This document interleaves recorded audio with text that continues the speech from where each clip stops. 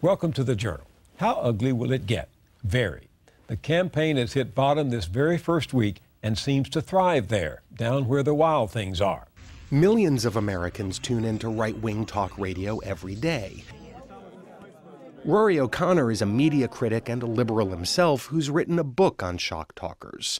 He says not all of these broadcasters use violent language, but they do all share a predilection for outrage. And he says they're all practically addicted to constantly cranking up that outrage.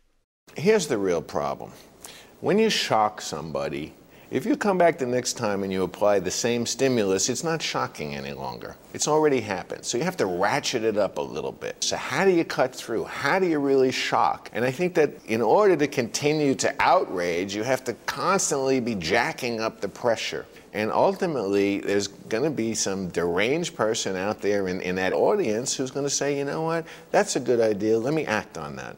The fusion of entertainment and enlightenment. Entertainers. That's what a lot of the shock talkers call themselves. O'Connor says maybe, but their words can motivate their listeners to act. Now, first and foremost, we have to recognize that many of them are uh, employed across multiple platforms. So they may say something on their radio show, but they may repeat it on their television show. They may then repeat it in their newspaper column. They may repackage the ideas into their best selling books. Last year's debate over the immigration reform bill became a case study for Rory O'Connor. As arguments went back and forth, some of the language turned venomous. Hosts amped up their audience's outrage with attacks on the bill's supporters and verbal assaults on immigrants. I already have received at least one brilliant email today about the immigration problem. This person sent me an email said, "When we defeat this illegal alien amnesty bill and when we yank out the welcome mat and they all start going back to Mexico, as a going away gift, let's all give them a little box of nuclear waste. Tell them it can, it'll heat tortillas.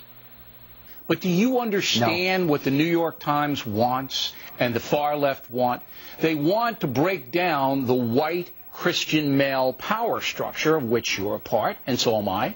And they want to bring in millions of foreign nationals to basically break down the structure that we have. O'Connor says the result stunned Washington. There were massive uh, numbers of emails and letters and phone calls. You know, senators said they had to have two or three people in their office answering the calls. That was all that they could do. They were inundated. And beyond that, how do you get their attention? Well, I tell you, if you send a threatening letter to a senator's home, that gets his attention pretty fast. Florida Republican Senator Mel Martinez got a threatening letter at home.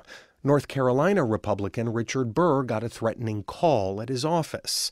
South Carolina Republican Lindsey Graham told the New York Times that he and others had received threats too. The Times also reported that a mass email opposing the bill suggested that its supporters needed to be taken out by any means. The bipartisan support collapsed. The bill died and right wing talk radio hosts took credit. This is evidence of their vast power. I mean, you know, President George Bush was pulling out all his political capital to get immigration reform passed. Uh, Trent Lott was backing him up with everything he had. And guess what? The president and the Republican leadership and Harry Reid and the Democratic leadership, they all lost. And they lost to a bunch of radio jocks.